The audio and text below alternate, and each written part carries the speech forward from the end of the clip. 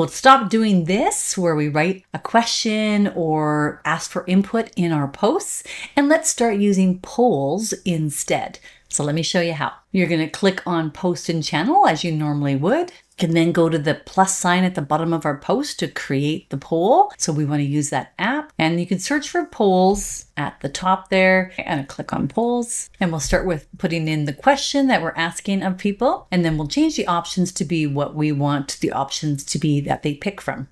And I can, of course, add more options. And we can allow people to select more than one thing if that makes sense for the poll that we have. And we can even record who said what. I'm going to leave it as the way it is. And let's just take a quick preview. So that's how it will look. And then everybody will have an option to submit their vote. So let's send this off. And you're going to see it says new activity because that is where the poll is recorded. Connie entered a poll in the posts, and then here are the answers from the polls.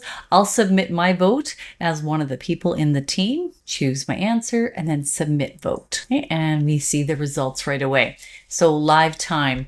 And these polls, by the way, are kept in the Microsoft Forms app of the person that created the poll. So if you ever need to see them all together, you can access them there. Otherwise, they will also remain in the Teams channel area here.